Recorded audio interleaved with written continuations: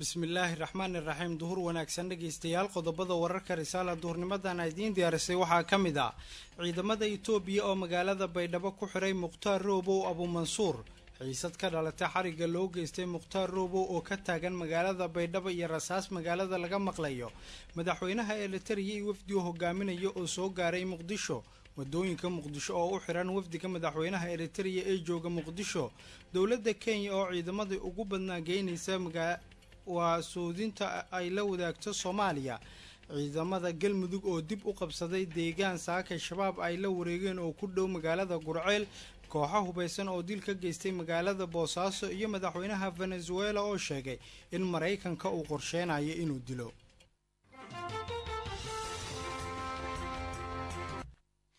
waa duhurnimo khamiisa taariikhduna ay ku beegan tahay saddex iyo tobanka bisha labaiyo tobanaad sanadkan labada kun iyo sideed iyo tobanka. Intaas aada maqasheen dhegaystayaal waxay ahaayeen qodobadii wararka risaala ay idiin diyaarisay. Iminkana ku soo dhawaada warkii duhurnimo oo intaasi ka faahfaahsan. Mukhtaar roobow abuumansuur ayaa lagu xiray magaalada baydhabo kadib markii sida la sheegay madaxtooyada maamulkaasi uu ku ballamiyey kusimaha madaxweynaha maamulka koonfur galbeed shariif sheekhuna maya kadib markii uu telefoon u diray uuna u sheegay in uu yimaado madaxtooyada koonfur galbeed halkaasi oo uu sheegay in musharaxiinta maanta uu kula kulmayo. Robow ayaa markii uu tegay madaxtooyada koonfur galbeed ciidamadii la socday bannaanka looga reebay waxaana la sheegay gaarigii uu watay markii uu galay ilinka madaxtooyada koonfur galbeed. Durbadiiba in ciidamo etoobiyaan ah ay joojiyeen oo daaqada albaabka gaariga ay ka fureen kadibna ay ka soo dejiyeen. Laba nin oo la socotay robow robow oo maamuuska u qaabilsaneyd ayaa la sheegay in ciidamada etoobiya ay soo dejiyeen kadibna ay kala tuureen waxayna si toos ah u beegsadeen mukhtaar robow abuumansuur robow ayaa la sheegay markii ciidamada etoobiyaanka garbaha ay ka qabteen uu isku dayay inuu dagaalamo weliba feer uu ku dagaalamay balse ciidamada etoobiyaanka ayaa la sheegay qoriga baadkiisa inay ku garaaceen oo kadibna ay kaxaysteen.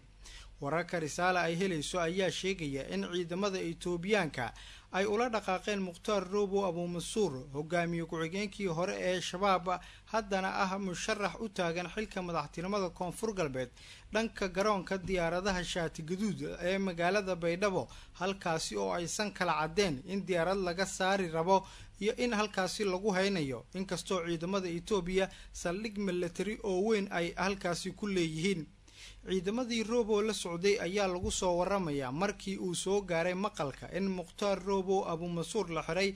Bannaanka madaxtooyada koonfur galbeed xabado inay ka bilaabeen qaar ayaa la sheegay in la xiray qaarna ay baxsadeen magaalada baydhabo ayaa hadda waxaa ka taagan xiisad culus oo ka dhalatay xarigga mukhtaar robow abuumansuur loo geystay waxaana lagu soo waramayaa ciidan habbeeleed u abaabulan oo ku hayb ah mukhtaar robow inay magaalada ka wadaan dhaqdhaqaaq ciidan oo halis gelin kara ammaanka magaalada baydhabo.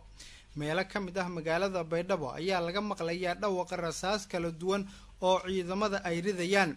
Ciidamada booliiska ee ku sugan magaalada baydhabo ayaa magaalada lagu soo daadiyey si ay amniga u xaqiijiyaan si shacabka reer koonfur galbeed aanay u dareemin qalqal dhanka ammaanka lama oga cidda bixisay amarka lagu xiray mukhtaar robow abuumansuur oo la ogyahay in dowladda soomaaliya uu isku soo dhiibay muddona uu joogay muqdisho oo uu deganaa xarunta taliska hay'adda nisa ee habar khadiija kadibna uu toos ugu wareegay magaalada baydhabo halkaasi oo ololo siyaasadeed iyo musharaxnimo uu ka bilaabay.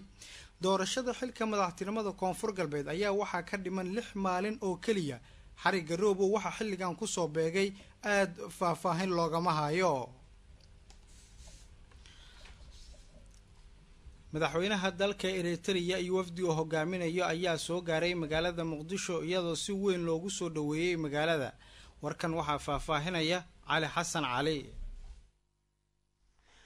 Wafdi ballaaran oo hogaaminayay madaxweynaha dalka eritariya siyaas afweyke ayaa maanta soo gaaray magaalada muqdisho ee caasimada soomaaliya madaxweynaha soomaaliya. Inta badan xubnaha golaha wasiirada uu horkacayay ra'iisul wasaare ku-xigeenka dalka xildhibaano ka tirsan labada gole ee baarlamaanka iyo qaar ka mid ah shacabka muqdisho ayaa soo dhaweeyey madaxweynaha madaxweyne afweyki wasiiru dowlaha wasaaradda arrimaha dibadda xukuumadda federaalk soomaaliya cabdiqaadir axmed kheyr cabdi oo la hadlay warbaahinta soo dhaweynta kadib ayaa waxa uu ka warbixiyey ujeedka u yimid muqdisho madaxweynaha dalkaasi eritrea iyo wafdiga uu hogaaminayo. Bismillahi raxmaan raxiim maanta waa maalin farxad weyn rabna inaan ku soo dhoweyno madaxweyne isayas afawriqi soomaaliya. Uuna ballan qaaday inuu imaan doono. Waxaana rajaynaynaa inay noqoto maanta maalin aad ugu fiican xiriirka labada dowladda soomaaliya iyo eritrea. Waa laba waddanoo walaalo ah. Waa marka ugu horraysay oo madaxweyne eritreyaan u yimaado ciidda soomaaliya. Taasna waxay u tahay farxad weyn. Ummadda soomaaliya meel kastoo joogto oo qayb ka qaadato xorriyadda waddanka eritrea. Sidaa og tahayba madaxweynaha ayaa ku tegey booqasho taariikhi ah. Booqashadii jawaabteediina maanta ayuu ballan qaaday inuu yimaado madaxweyne afawarqi waana soo dhoweynaynaa si farxadle insha allah gudoomiyaha gobolka banaadir ahna duqa muqdisho cabdiraxmaan cumar cismaan injineer riiso oo qayb ka ahaa madaxdii ka qayb gashay soo dhoweynta ayaa waxa uu ka waramay sida ay ugu diyaargaroobeen maamul gobolka banaadir soo dhoweynta wafdiga uu hogaaminayo madaxweynaha dalkaasi eritrea oo farxad u ah ummadda soomaaliyed meel walbay joogaan caasimadda muqdishona waxay u diyaar garoobaysaa soo dhoweynta madaxweynaha dalka eritrea oo runtii casuumaad ka helay madaxweyne farmaajo. Tanna waxayna tusaysaa horumarka uu dalku tallaabsanayo. Maanta madaxweyne dal kale inuu yimaado soomaalidana ay muujiso sida ay soo dhoweynta iyo walaaltinimada ugu wanaagsan tahay. Runtii waa sharaf weyn. Weliba madaxweyne afawargi hore ayuu u deganaan jiray magaaladan. Hore ayuu reer muqdisho u ahaa. Waa uu yaqaanaa isagoo madaxweynahan inaan soo dhoweyno iyadana sharaf weyn bay noo tahay shacabkana waxaa uga mahad celinaa sida sharafta leh ay tan iyo shalay uga shaqaynayaan soo dhoweynta maantana aan aragno shacabkii oo isku duuban maamulka gobolka banaadir iyo dowladdiiba in si heer sara soo dhoweynta u dhacayso waa markii ugu horreysay uu yimaado soomaaliya madaxweynaha dalkaasi eritrea afaweke iyadoona uu magaalada muqdisho sii joogi doono muddo laba maalmooda waxa uuna kulamo kala duwan la qaadan doonaa madaxda dalka ugu sarreysa waddooyinka magaalada muqdishona waxa ay u xiran yihiin wafdigaasi ka socda dalka eritrea ay madaxweynaha dalkaasi uu hogaaminaya oo maanta barqadii soo gaaray magaalada muqdisho. Xalay saqdii dhexe gaar ahaan labadii habeennimo ayaa ciidamo kala duwan oo booliis iyo kuwa koofi gaduuda madaxtooyada villa soomaaliya lagu daadiyey waddada maka al mukarama si madaxda maanta joogta wadadaasi loo soo marsiiyo wararka ayaa sheegaya in madaxweynaha dalka eritrea laba cisho uu joogi doono muqdisho. Lama oga labadaasi cisho in magaalada gaar ahaan waddada maka al mukarama ay xirnaan doonto iyo inay furnaan doonto. Iyadoo warar soo baxaya ay sheegayaan in caawa suuragal ay tahay in wafdiga madaxweynaha dalka eritrea magaalada lagu soo wareejiyo gaar ahaan goobaha damaashaadka la geeyo.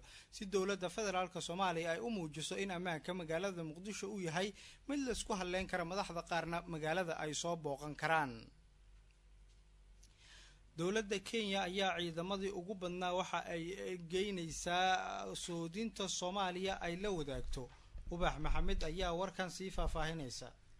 Dowladda kenya ayaa sheegtay in ciidamo ka mid ah keydka booliska dalkaas la geynayo soohdinta soomaaliya si ay ula dagaalamaan al-shabaab isaga uu ka hadlayay maalinta xorriyadda kenya jooshu oo ah guddoomiyaha gobolka gaarisa waxa uu sheegay in dowladda ay diyaarisay lix boqol iyo sagaashan askari oo ka howlgeli doona soohdinta waxa uu sheegay in soddonkii askariba goob gaar ah la dejinayo islamarkaana ay si dhow ula shaqeynayaan odayaasha dhaqanka dadka deegaanka ciidamada kale ee ammaanka iyo maamulka gobolka.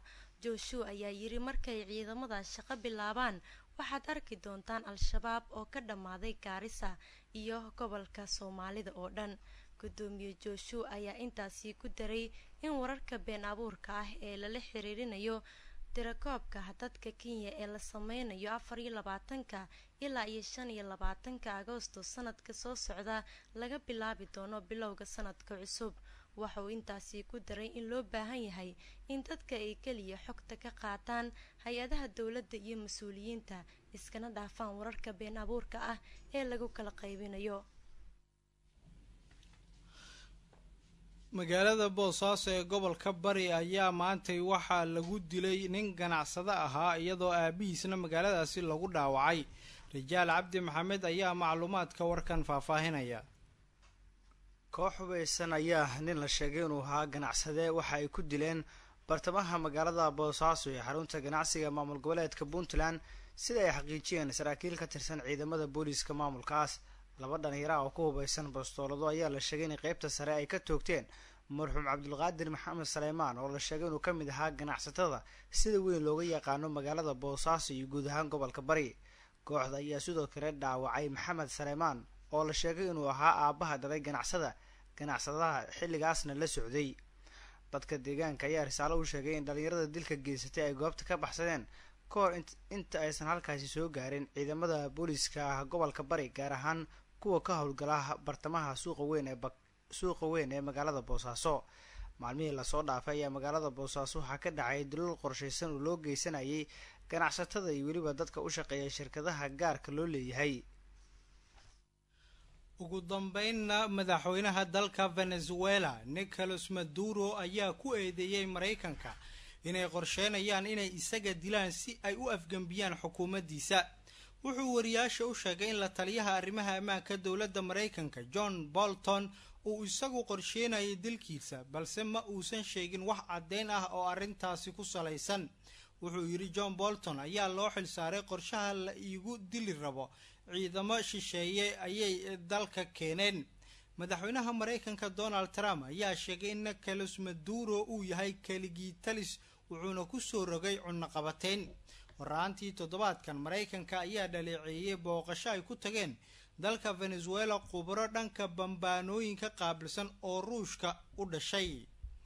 Guud ahaan warkii duhurnimo dhegaystayaal oo si toosa idinkaga imaanayay idaacadda risaale ee magaalada muqdisho waa naga intaa ciddii warkan uu dhaafo waxay dib kaga heli karaan bogga aan internetka ku leenahay ee ah radio risala com